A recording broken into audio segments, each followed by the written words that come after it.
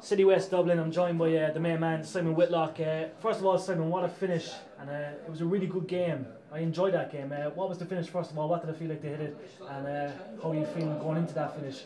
Uh, yeah, 108 to win the match. I, I felt pretty confident be- because I've been practicing my checkouts at home for the last three months, and yeah, but you know, you never know what's going to happen under pressure and big crowd, TV. But I hit it, which means all the practice has paid off. And, the crowd love you. You're always uh, a big fan when it comes to the Irish and stuff. Yeah, the crowd were brilliant. You know, they're very fair, and you know, it was a great game. It was really a great game. Definitely. Uh, you will be playing the winner of Webster and North next, and of course the tournament is wide open. That you have to fancy your chances.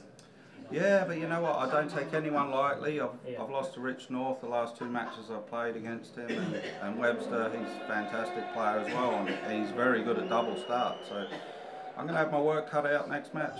Are you happy with your form this year? Yeah, absolutely. I've had a great year so far. I've had some good results. So yeah, just confident. Definitely. I just have to mention because I'm a big fan of the Premier League. I really hope we see you back there next year. You know what? I love to be in it, and I'm striving hard for it. I'm working really hard on everything, just not just darts, but fitness, everything. Trying to get back into it. Fingers crossed. We want that more than anything. Simon, Ah, thank you very lovely. much. Thank you. Congratulations. Appreciate Cheers. it.